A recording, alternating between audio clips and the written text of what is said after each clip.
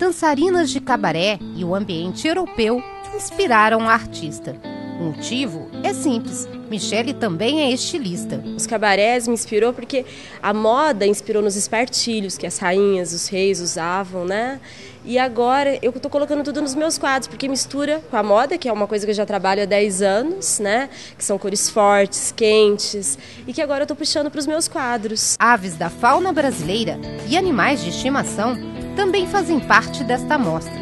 O colorido dos trabalhos em acrílico marcam as telas da artista, que é autodidata e há 10 anos pinta quadros. Ela conta que também trabalha com o modernismo e o abstrato em óleo sobre tela e que agora está com um projeto que une o trabalho artístico com o social.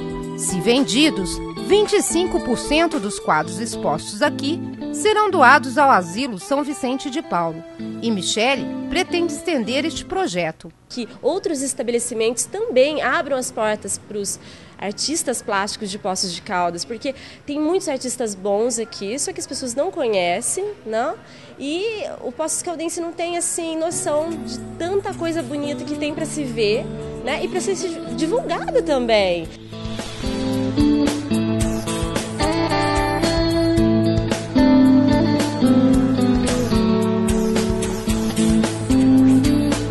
Thank you.